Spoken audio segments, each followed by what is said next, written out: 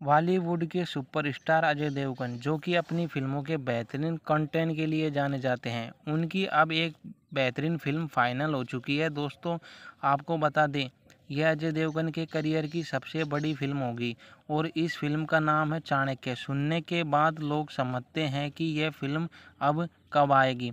इसकी कोई अपडेट नहीं आ रही है। आपको बता दें, दोस्तों, इसकी शूटिंग अब, इसकी अपडेट आ चुकी है। चाणक्य जो फ़िल्म है दोस्तों, उसकी जो शूटिंग है जो साल 2022 से शुरू कर दी जाएगी। दोस्तों, अक्टूबर 2021 में प्लानिंग चल रही थी, लेकिन काफ़ी ज़्यादा फ़िल्मों में बिज़ी रहने के कारण अजय देवगन ने चाणक्य फ़िल्म की शूटिंग साल 2022 में शुरू कर दी जाएगी। कास्ट की बात करें तो अजय देवगन और नयनतारा पहली बार इस फ़िल्म में एक साथ नज़र आएँगे, और इसमें अजय सर का डबल रोल होगा। और फ़िल्म को नीरज पांडे डायरेक्ट करेंगे और फ़िल्म को दो पार्ट में बनाकर तैयार किया जाएगा।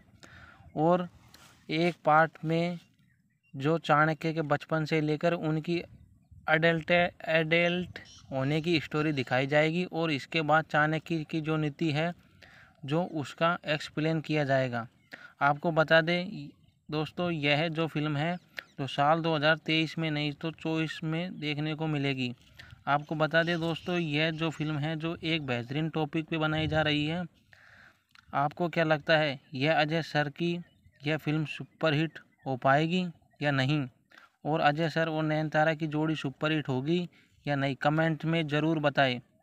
वीडियो को लाइक, शेयर और चैनल को सब्सक्राइब ज़रूर करें और बेल आइकन ज़रूर दबाएँ, ताकि बॉलीवुड और साउथ इंडस्ट्री की हर आने वाली अपडेट आप तक पहुँच सके।